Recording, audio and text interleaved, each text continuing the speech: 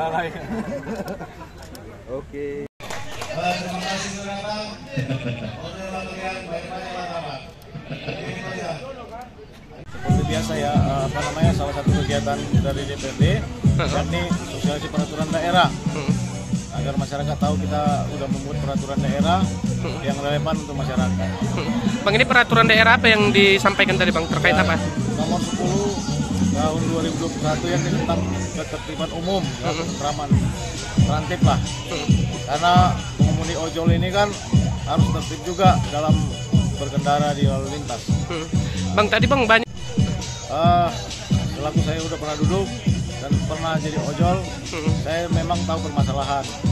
Dan eh, saya berharap ke depan ini ego sektoral ya di antara pemerintah dengan legislatif itu cepat berkurang lah supaya aspirasi ini bisa diwujudkan sama-sama ya. Saya juga sudah berusaha sekuat tenaga untuk mewujudkan aspirasi rekan-rekan. Ya, kan tetapi di lembaga kan bicara tentang kekuasaan. Nah, kami cuma dua kursi di sini. Itu ya kami butuh kursi lebih banyak. Jadi maka untuk itu dukunglah kami supaya bisa bicara lebih banyak, supaya keluhan ojol bisa terselesaikan dengan cepat.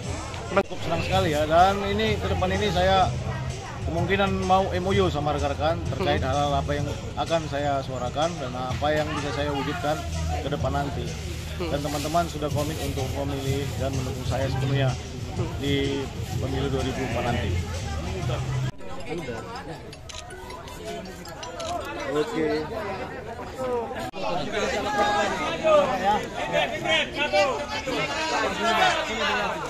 Nah, kan ada SOP-nya pak.